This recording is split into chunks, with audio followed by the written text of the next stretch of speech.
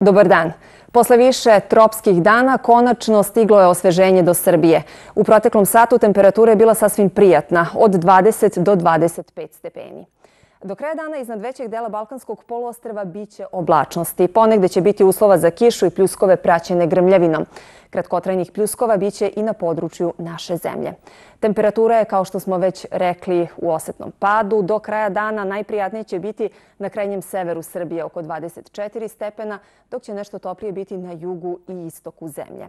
Za sutra prognostičari najavljuju dalji pad temperature. Prema merenjima iz prethodnog sata u Beogradu je temperatura 22 stepena.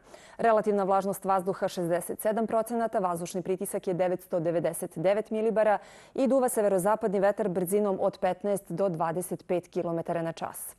Do kraja dana na području glavnog grada moguća je kratkotrajna kiša ili kratkotrajni pljusak praćen grmljavinom. Najviša dnevna temperatura oko 27 stepeni.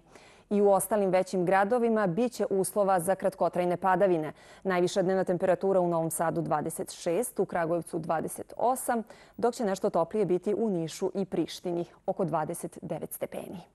Već smo rekli da će do kraja dana temperatura u Antaliji dostići čak 37 stepeni.